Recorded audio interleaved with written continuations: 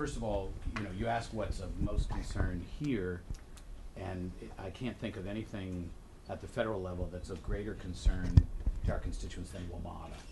And, um, you know, long, long tradition of Sarbanes is, you know, championing WMATA, and we're just, you know, it's just hurting. I mean, the, the, it's, it's crumbling before our eyes, and, um, obviously the agency has put forward this, um, very ambitious plan without any real clue of how it's gonna be funded.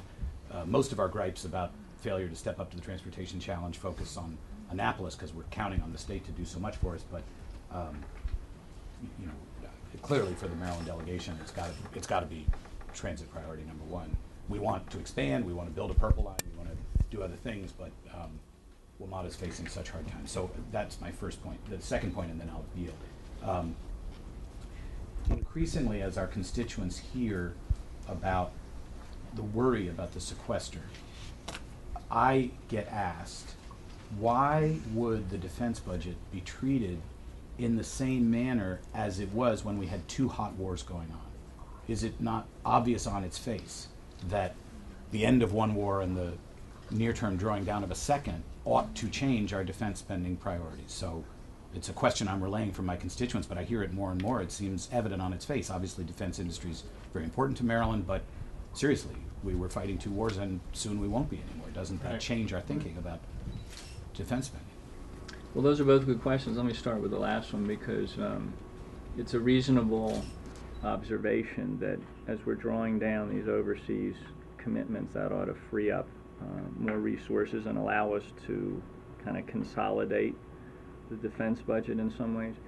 Um, keep in mind, though, that the expectation of, of bringing those, of drawing those down, in many of the budget mo- models and assumptions has already kind of been worked in um, to the discussion. So if you talk to, um, you know, the Department of Defense, if you talk to the administration, um, and if you talk to members of Congress who are focused on the budget, like Chris uh, Van Hollen, obviously, and um, Paul Ryan in the, in the majority uh, in the House, um, they would say that they're already building 10-year models that, that have that included in it. Now, having said that, um, we did kind of break through a psychological wall um, with the defense establishment um, as a result of the debt ceiling debate and sequestration, which is, I think, for the first time, you had um, the Department of Defense and other defense-related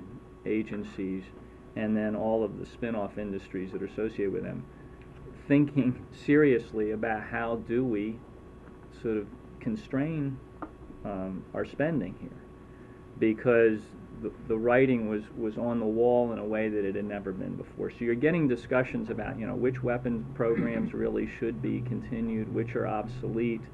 I think um, you're getting people to, to look more seriously at the question of have some of these expenditures continue just based on sort of political influence more than sound judgment about the merits of a particular uh, weapon system.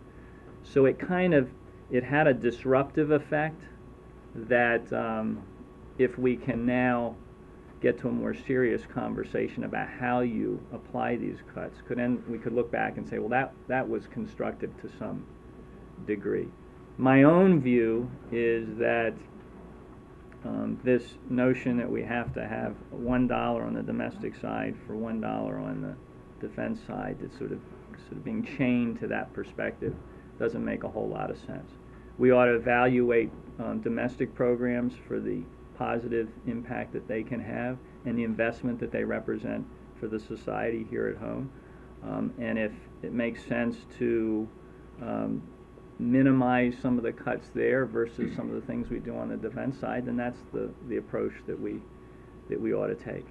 In terms of investing in our domestic priorities, uh, there's no priority that, that's higher um, than infrastructure. And of course, the president, I give him credit, at a critical time um, when the economy was really in tough shape, and when his when peer nations around the world were going into a policy of extreme austerity, which they've paid for dearly. You look at Great Britain, um, you look at the the unemployment rate in the Eurozone, which is 11% and climbing, our president made the decision to invest. Um, because of pushback, I don't think the investment was as great as even he would have liked to see, but it was enough um, to keep the economy going. And so our unemployment rate, while it's unacceptably high for everybody still at 7.8%, um, is so much lower than what we're seeing in other parts of the world where they went into this, this kind of impulse of austerity. Part of that investment was infrastructure, but going forward, there has to be more investment in infrastructure. And it makes perfect sense because it needs to be done when you look at the crumbling state of infrastructure, whether you're talking about transit projects or you're talking about schools, et cetera. But the other is it creates a lot of jobs. I mean, it, it's not like, you know, we have a situation where um, we need to create jobs, we have a pristine uh, infrastructure, um, or we have a crumbling infrastructure, but we have full unemployment. I mean, these things go together. We have a crumbling infrastructure, we ought to invest in it, and we can create jobs from it. And it's right for um, state and local officials and jurisdictions to have that expectation. Now, I've supported strongly the idea of, of um, creating an infrastructure, national infrastructure bank to help leverage these investments and build those partnerships um, at the state and local level. And I'll keep pushing for that. I think the Democrats are going to do that, and the administration regards that as a real priority.